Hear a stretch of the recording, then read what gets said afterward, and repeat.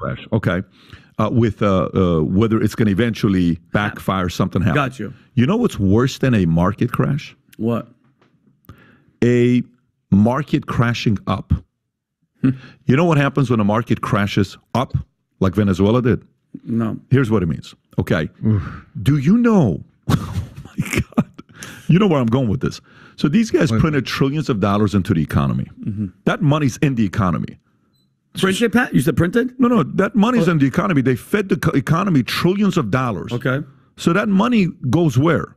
Whoever has the most value to be shown, that's where the money flows. Okay. The money doesn't stay with a person that doesn't know how to manage them. If you don't have value, the money goes away to somebody else. Okay. A reverse market crash would happen. Do you know what would happen if right now Jerome Powell decreased rates to 6%, 5%, 4%, 3%? Do you know what would happen today? Hello, family. Welcome back to another episode of Journey to Harmony. I'm your host, Richard Harmon. Um, today, I want to come and talk to you guys about what will happen when the Fed drops rates. So, many people are hoping right now that the Fed does not drop rates for some time. We need some time for um, the market to kind of cool off.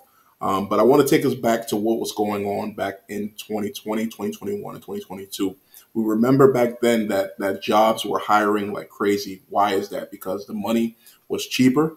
Um, they had so much access to cash that they ended up uh, needing more people. More companies were able to be built, and because there's more companies, there's less people who are qualified.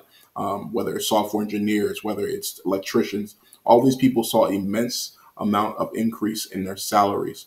So, what is going to happen in um, six months, a year, 18 months, when the Fed does drop rates and money becomes more available again? Those who have these particular skills, those who are uh, in nursing, those who are in um, all of these fields, travel nursing, all these different things like that, they're going to be paid a handsome amount. What was, what was going on before this year was many baby boomers were dropping out of the market.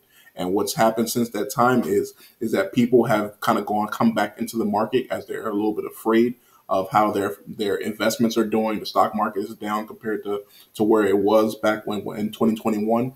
Um, so people came back into the market to kind of just to, to work to make sure they have enough to carry themselves over.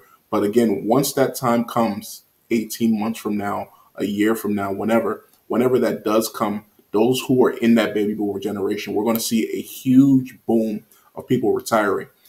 Their investments that are in the stock market are going to go back up, and then they're going to feel wealthy and ready and all again to, to start over.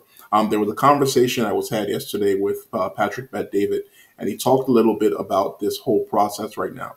And there's people who are wishing that the stock market goes down. The Venezuelan uh, stock market have gone up 600% in the past year. So imagine the S&P 500 is at, um, you know, it's at, you know, 4, 4,400 right now. And it goes from 4,400 to 20 to, to, you know, to uh, 24,000 or something like that. You know, that, that, those people would, would become millionaires and millionaires many times over. Those who are not invested in the stock market will find themselves in a very serious situation as the, the, the gap between those who, who have and those who do not have would become so much more greater. Um, unfortunately, I, it's there's not. I don't really see a way out of this right now. You know, like with the continued support that's going on with the wars and all these things in, uh, included, the spending that's going on right now in the country is it's accelerating. It's not decelerating. Um, with with the loss of jobs, what's happening as well is that there's the, the companies that were, were were there to, to lessen the burden on the government.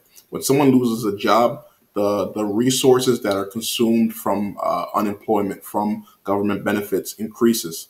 So as as this is going into so it's it's a lose lose situation right now for, for the country. Whether you know the, the the people who are supposed to to be there to supply the jobs to help to lessen the burden, this this rate hike is reducing and putting additional stress on those companies. So so your your tax base of who you can draw money from is lessening and is increasing the gap overall, which which eventually increases the spending that will be required to fix this issue.